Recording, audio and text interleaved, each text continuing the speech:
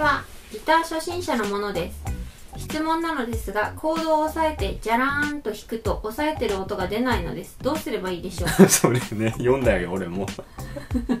そのさ質問がさざっくりだよね。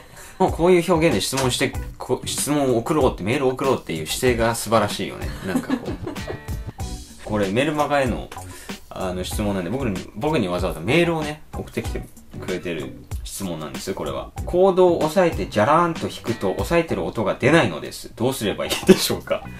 押さえてジャラーンと鳴らして音が出ないってことは抑えられてないっていうなんですかね？抑えてるけど音が出ないってことは多分抑えられてない余計なところを触れているっていうことだと思うんですけど。じゃあ G コードを使って説明します。これですね。G コード出しとくかな。G コード押さえました。押さえてるところが5弦6弦1弦なんですよね。こことこことここ。でこここの3つに関してはちゃんと抑えられてるかどうかっていうのとあと3弦から2弦はこれ開放弦なんで000の開放弦なんで要は何も押さえなくても鳴るんですよね。なので、えっとこの弦には開放弦なんで触れちゃいけないんです例えばこの6弦の G を押さえてる薬指がここを押さえてるこの指が寝ちゃったり、こうやって寝ちゃったりすると、余計な弦に触れちゃうんです。なんで、ざっくりな質問なんで、ざっくり答えちゃいますけどね。指をしっかり立ててください。押さえてる指は、押さえてる指はこういう風に、こことここを押さえるんだったら、こうやって寝ちゃわないで、しっかりこの指先で、あの、指の、あ、時計が、大事な時計が、ギターじゃないのかよって話ですよね。各コード押さえる時っていうのはこの指のここで押さえないで指先のここで押さえてくださいね。ちゃんと。ここで。こうこの辺とかじゃなくてここで。だからこの辺が硬くなんなきゃおかしいんですよね。なので指をしっかり立ててこうやって寝ちゃわないでこういう風にちゃんと立ててこう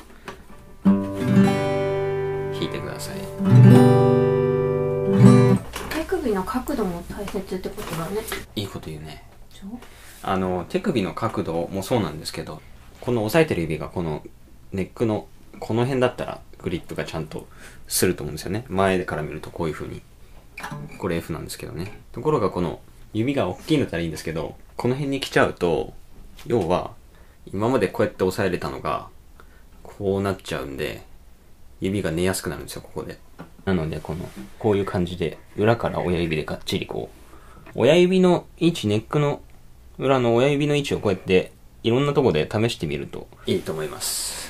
あのどうしてもこう指板の表のねポジショニングばっかり時計が。どうしてもこの指板の表のね各ポジショニングばっかりあの目が行きがちでなんでだなんでだってなっちゃうんですけどこの指板の裏の親指の位置だけで親指の位置を変えるだけでね全然押さえる力がねいらなかったりするんでいらなかったりするっていうのはその少しの力力でポジショニングできたりするんで試してみてください。マッサージも同じなんだよねあマッサージね。ヘッドマッサージのプロがここにいます。頭をこうやってね。僕も習ってあのできるようになったんですよ。ね。結構できるようになってきたでしょ。上手なの。なのでギターレッスンとヘッドマッサージを込みでね セットにして5万5千円ぐらいか。要は余計な力がいらないってことでしょ？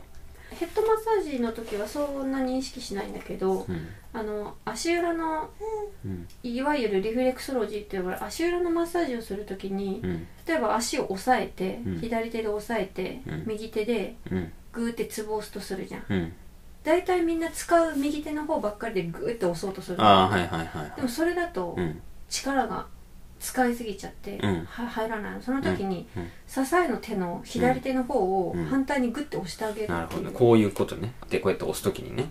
そうそうこのこっちばっかり力入れちゃうってことでしょ？そうそうそう。じゃなくそっちばっかてこの手をこうそう。ちゃんとやるってこと？そう。手前に引くってこそうそうそう。その支えがあるとあなかるほどね。ないかでその力の入り方が全然違う、うんうん。その入り方が。そうですね。ギターも同じっていうことにして結論きれいにしたらいい動画になるんじゃない？これ。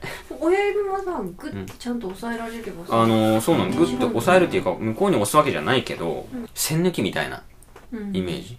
線抜きってあの、例え悪いかもしれないんですけどね、これ線抜きってあの、てこの原理になってるでしょ？キュッて抜くじゃん。このおい線抜きってこうやって開ける方があったら、こう引っ掛けて、抵抗の原理でキュッてやる、開けるでしょ？それと同じ感じかな。だからこう、こっちの親指を、この親指をちゃんとこう引っ掛けて、クッと、キュッとやったら、綺麗になるっていう。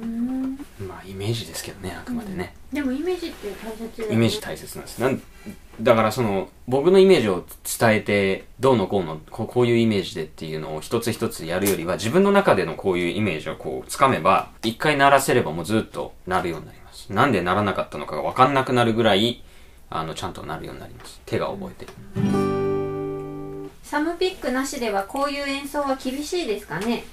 トラベスピッキングの、あの、他の動画に対する質問だったんですけど、要は、サムピックなしでできるかっていう質問なんですけど、できます。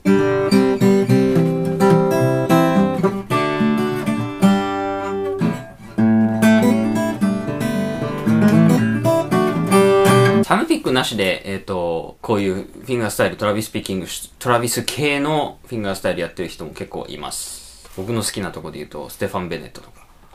あと、トラビス系ではないですけど、あの、アンディ・マッキーとかも。生指、生親指派ですね。生指派。生親指派の。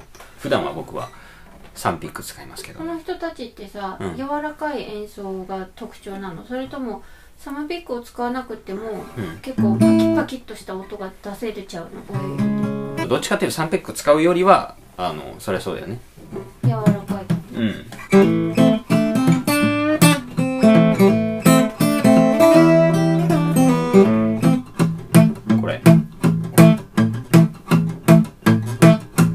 っていうのと、要は外して。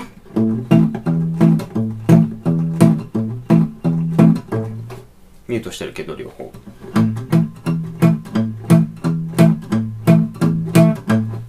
違うでしょ？全然違うでしょ？